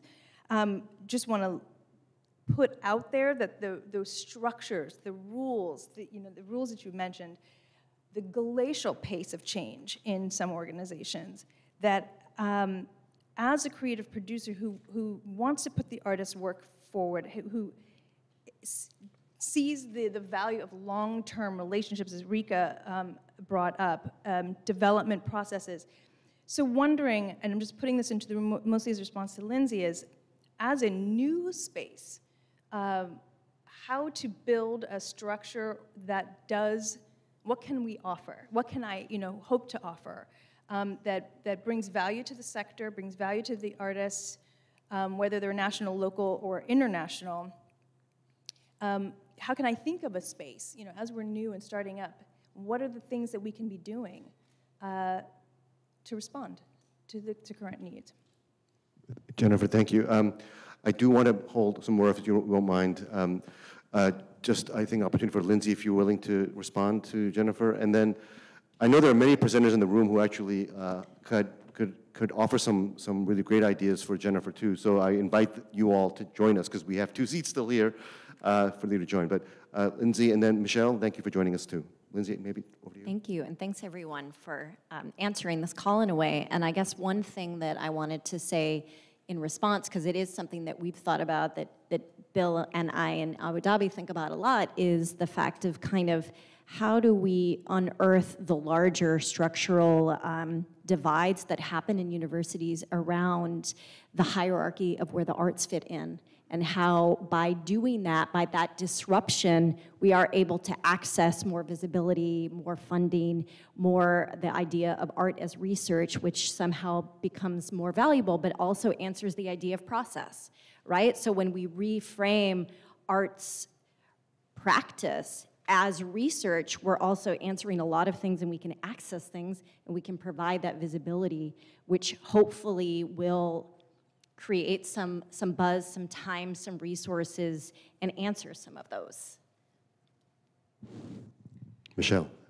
Hi, I'm Michelle Witt. I'm Executive and Artistic Director of the Meany Center for the Performing Arts in Seattle um, at the University of Washington. And I am, uh, my pronouns are she, her. I am wearing a black turtleneck, gray jacket, uh, glasses. And um, I'd like to reflect such provocative questions, and I'd like to reflect on what I've some big things that I've heard and, um, and share a perspective, which is, you know, we're talking about building things collaboratively over time, building relationships with artists, um, and including artists in the fabric of institutions, um, focusing on process, which is so critical, um, and also sometimes really needing to have that transactional product out there um, because that's important too to sustaining our institutions.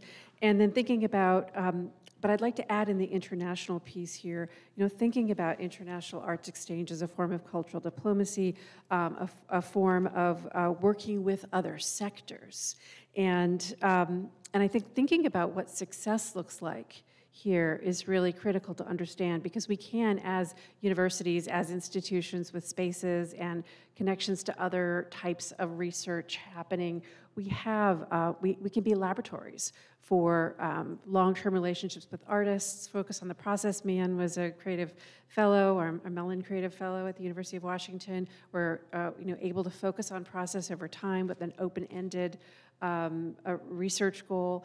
Um, but what does it look like when we start to really think outside the arts box and build relationships with other sectors, both within an institution, whether it's with the natural, natural sciences or the social sciences, or whether it's with um, climate scientists or others? And what does success look like? in an international context where we're working across both virtual and in-person platforms over time? And I'd like to leave the room with that question because I'm really curious to know what you all would say. Thank you, Michelle. Um, Derek, Bill, do you have anything? But before, actually, before, some more, I- I'm sorry I stopped you from speaking, but did, did you want to add something that, first, before we, I- Uh, Well, I, I'm mindful of cutting off no, the- no, an no, artist you're the good, room, you're so. good. I, I, you you were right because I had something else to say that was not about this, but I do have something to say about in universities. I'm sorry, I'm sorry. But just as a PhD, current PhD student at a university, um, what I would say is a couple things. This is just to think about. I don't obviously don't know how anything runs. This is just things I'm thinking about. One is the university tends to be the largest landowner in the city. So I'm wondering how what that means, how that can be affected, how that can be dealt with, leveraged, et cetera. Um, I, it tends to just be a totally separate part of how we talk about the university is like the university as the arts, the university as the education, and then, oh, by the way, the university is also the biggest landowner in New York City, in Boston, you know, all these different places. And as a result, you know, there's ramifications to that, obviously in terms of gentrification, et cetera. But there's also the realities that um, they tend to be the biggest, some of the biggest power builders in the in the in the space, right? And so I think that I would like to see how um, that can be uh, challenged in a certain way, and also how that can be uh, used since it's there, in the sense that, um, for instance, uh, because there's so much power there, how can we ask artists uh, what they have to say about that? How can we ask artists um, how what they want to talk about in terms of challenging the police department in that city? Because the university is so powerful, you know, in that context. Um, the other thing, the other way I would say it is, I would love to see how. Um, I think a lot of artists have a lot of ideas, um, but they aren't necessarily always allowed to play out those ideas in an academic context unless they are PhD students or something like that. And so I would love to see more context in which the artists are brought in and are like, uh, there's some early work done around how can we bring them into contact with these student unions or these people on campus that are really working on the same things that they're working on and they can affect each other. And I just think that that would be really powerful. And I think particularly because the, the university is a place where there's a lot of international work going on, that would be very powerful in an international context. Thank you, Samora. Well, I think your wish is here. Um, We have two additional university representatives at the room now. We're actually the same person, so it doesn't matter who she said Well, I'll hand it over to you first, Derek. Um, except I don't look like Elvis Costello, so sorry, sorry. sorry. Um, um, uh, my name's Derek Goldman. Um, this is really, really energizing and inspiring to be in this real room. Um, I use uh, he, him pronouns. Um, I am uh, have graying, uh, thinning hair, glasses, a black jacket, and a scarf that enacts a theatrical cliche. Um, and um, I am uh, director of the Lab for Global Performance and Politics at Georgetown University in Washington, D.C. Um, and I just, this whole conversation has, you know, sort of uh, beautiful um, reverberations and, and echoes. I would just share um, one of the interesting things about our, the lab, our mission is to humanize global politics through performance, and we're a little unusual in being housed primarily in a school of international relations in the School of Foreign Service at Georgetown, though my, you know, I'm a theater maker and my faculty position has primarily been in theater. And I think when the lab was, was founded, we uh, expected that the journey would be about the arts people really kind of getting it and supporting it, and little by little, we would drag along others in other sectors. And in many ways, and I think the pandemic actually amplified this, our experience has been the reverse of that. Um, that the, you know, we being in Washington with a network of incredible artists around the world, young artists to kind of bring to the table, we became, you know, a little bit, we were able to be the cool kids in a lot of contexts that, um, that have allowed, that for me personally, um, kind of made me shift from kind of migrating to rooms where I felt comfortable and safe and where I knew what my role was as a theater maker and towards rooms where I might be the only artist in the room. Um, in, in, and some of them, you know, some of them were, were fruitful, some of them were less fruitful, but starting to spend more time in um, among climate activists, among people working on migration, and not always knowing what I was doing there or what the result would be there. Um, and then being inspired by our students and our fellows who were sort of doing the same thing.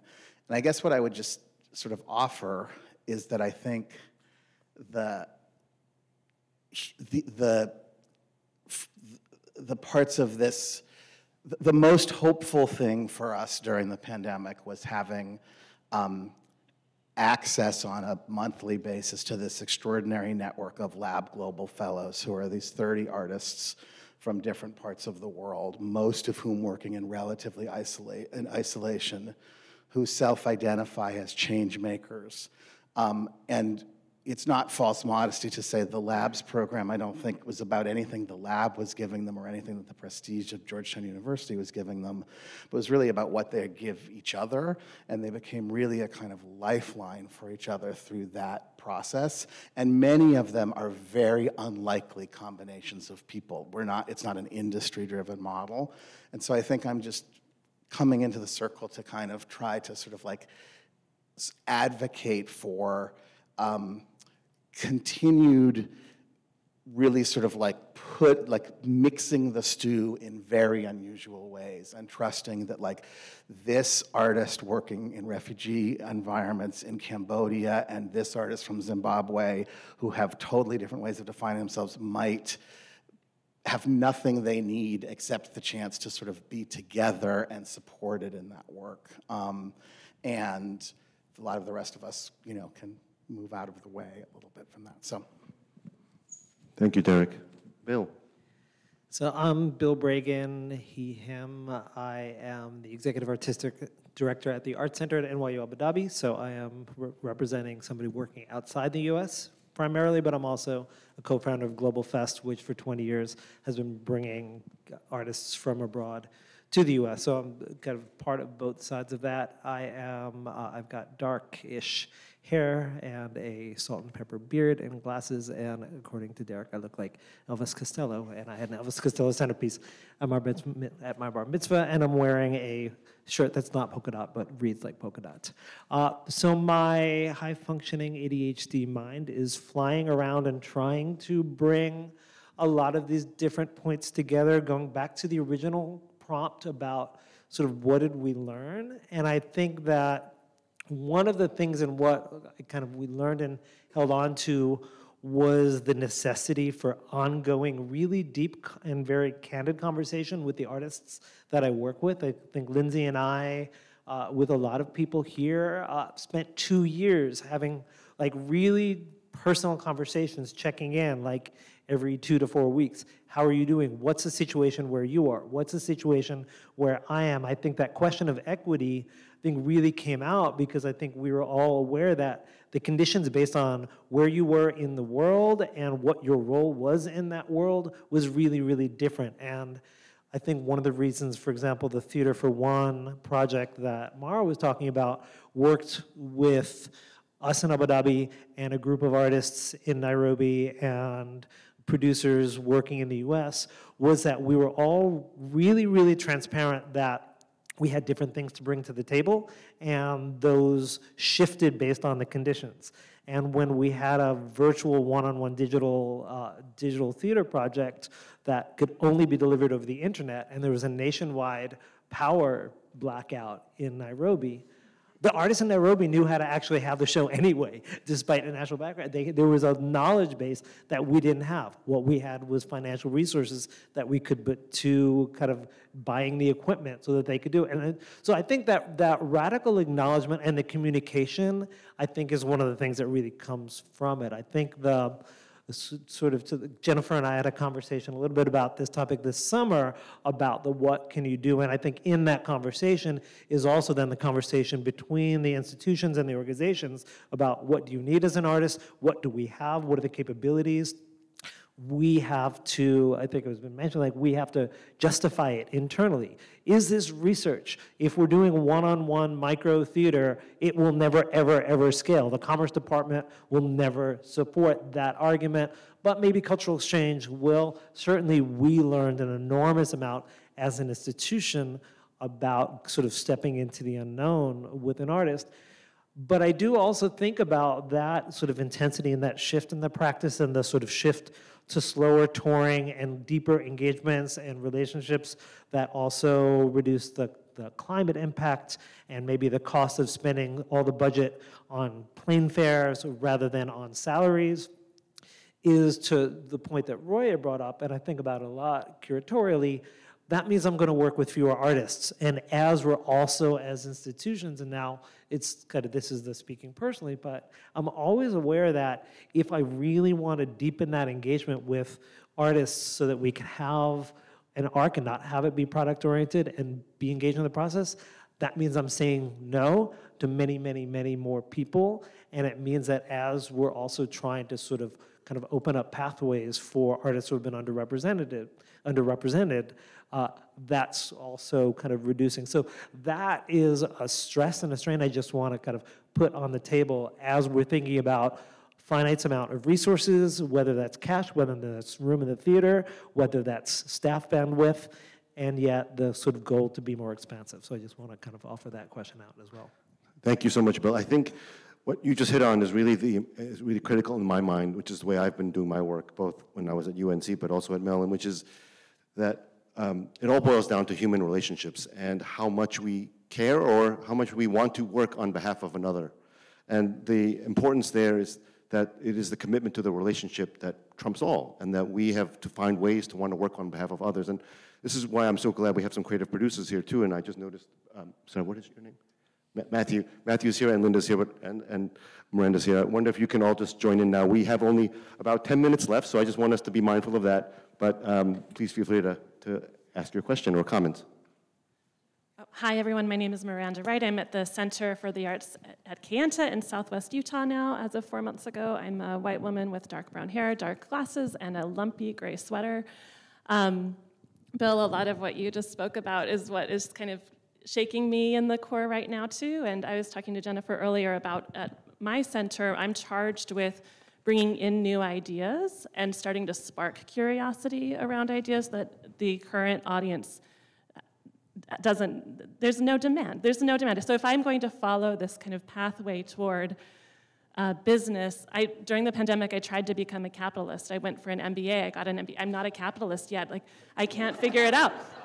But um, what you know i think what we all know is that is that capitalism or business practices are not going to solve all of the problems that we've been feeling for decades what could help solve problems is capital and access to capital. And access to capital for artists access to land capital doesn't need to mean money. So i'm just trying to think through this larger idea and this kind of momentum I'm starting to feel, feel from some of the conversation toward business practice and markets and you know these business terms. But actually at the end of the day we just need to leverage capital toward the same goals that we have so this is what i'm so i'm just my i guess my question i wanted to leave everyone with is as human beings each of us probably have more access to capital than many people outside of this room and what are we personally as people who are in charge of institutional capital willing to put on the table in a practice of generosity when we leave the room today. Thank you, Miranda. Matthew? Um, I, leading right from the notion of business practices and going back to Lindsay's question about what could the larger institutions be doing, two really quick comments. One, I think, oh, I'm sorry, my name is Matthew Covey. Uh, I'm the executive director of Tamizdat. I am a white man. My pronouns are he, him. I'm got a beard, glasses, and a dark shirt. Um, I, am going to answer this question, question in my capacity in a, in a lawyerly fashion. And I think one thing that's really important, it goes back to what Rika was talking about in regards to how we formalize the relationships between presenters and, presenter, and, and artists, um, which comes down, from my point of view, often to contracts. And I want to say that we can have a lot of great conversations about building community and building relationships, but then it goes to legal, and then it all falls apart. But I want to say that as a lawyer in the room, it doesn't have to. That there are ways to, in other industries, we have lots of ways of contracting fuzzy stuff and building community into contracts. You can do it, it just takes work and it takes having your lawyers on your side. So the larger institutions where whether it's a large institution that is really hidebound by its bureaucracy, or if you're a large institution where you're a big presenter at that large institution and you have the power, if it's the latter, push through the bureaucratic changes that are needed to come up with better contracts that create better relationships. Because if you can do it, then they will spread. Those will become best practices throughout the industry. That's one thing. Other thing, unsurprisingly, uh, cultural exchange, cultural diplomacy, people have talked about visas. They're hard, but they're not impossible. And the big institutions need to take the responsibility to push through the hardest of the visas for the rest of us. That's what I had to say. Here, here. Thank you. Um, Claudia, Linda, you have you want to take us home? How much time do we have left? Well, a few more minutes? Yeah. Okay, we're okay? Three minutes? Three minutes, basically. My name is Claudia Norman, she, hers. I'm an immigrant from Mexico City, working in the performing arts. And uh, I just want to say that about the learnings about COVID on international work. I think uh, I have the opportunity to work with two artists with no access to technology uh, no Zoom, uh, with uh, commissioning to create a new work in the middle of COVID. And I think to me, it's, it's like a deja vu going back 20 years, probably 25 years when I started, when I moved here and I started working here with no um, infrastructure, but creating a festival uh, commissioning uh, new work. And I think to me, the different, the big point was, what was the purpose of that commission? To premiere in the US a wonderful work, or really to support the artists in the rural community, therefore their families, and really that, that commission have an impact, international impact, not only because it's a somebody from other region of the world, but because that infrastructure was able to support an entire community abroad.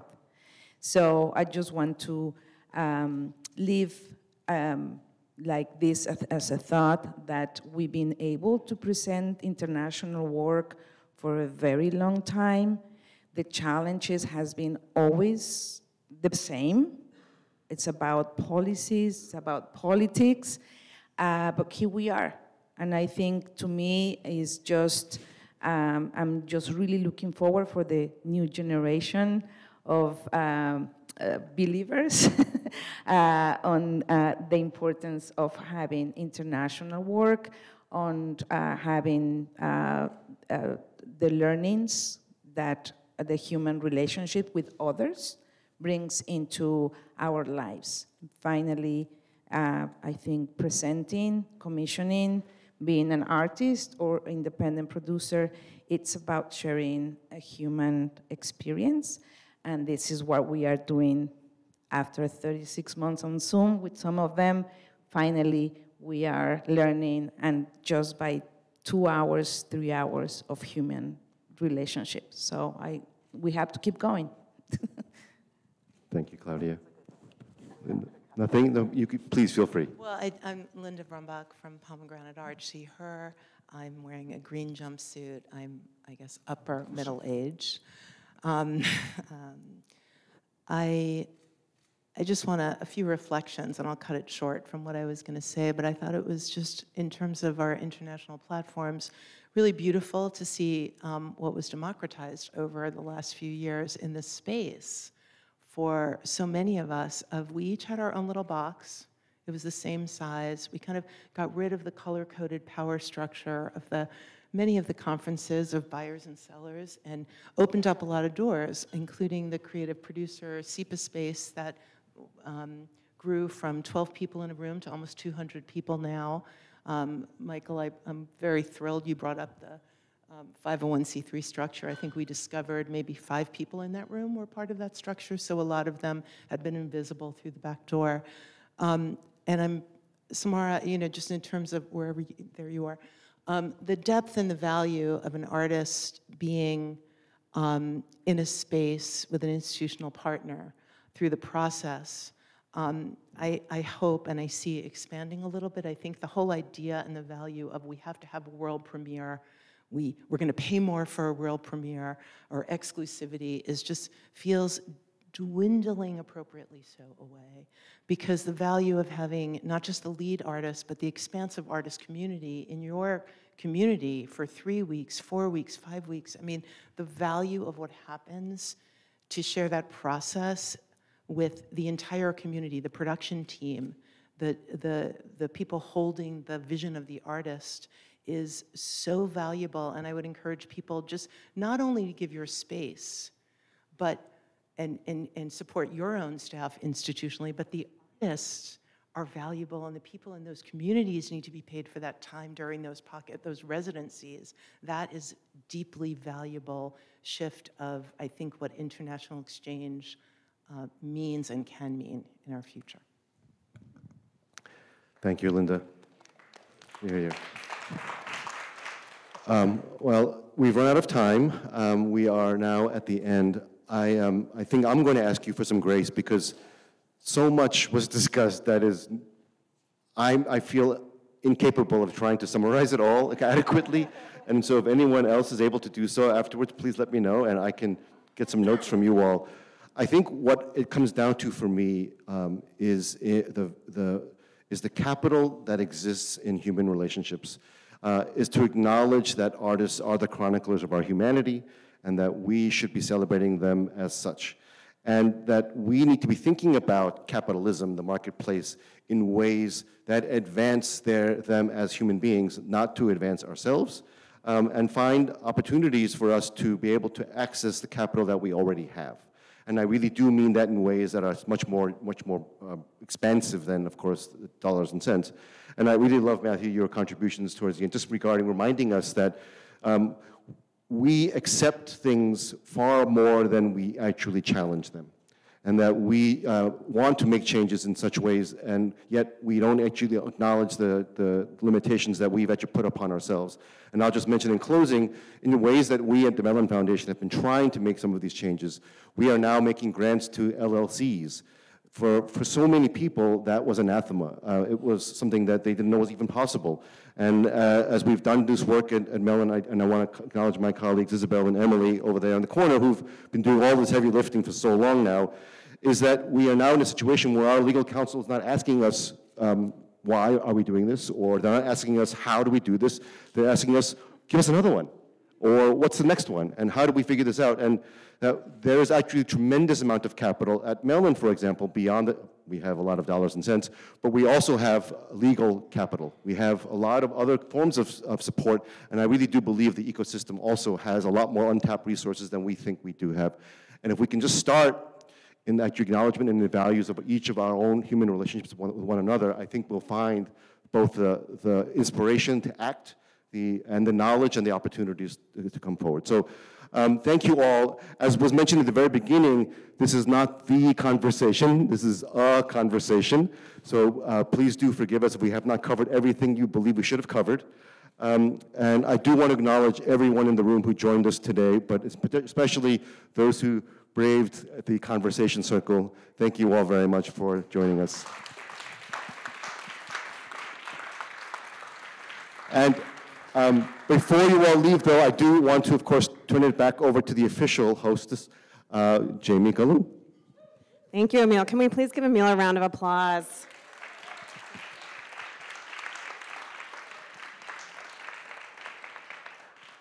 So thank you all for joining us. Um, I want to just quickly, again, acknowledge some folks without whom this event would not be possible. Um, the IPC Steering Committee, Susan Feldman, and our host here at St. Ann's. The, the support of the Barr Foundation and the National Endowment for the Arts. Um, and last but not least, of course, the whole HowlRound team.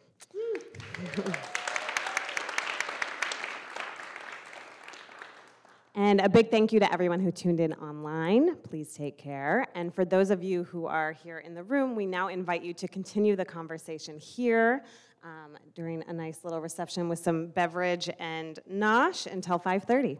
Thanks so much, everyone.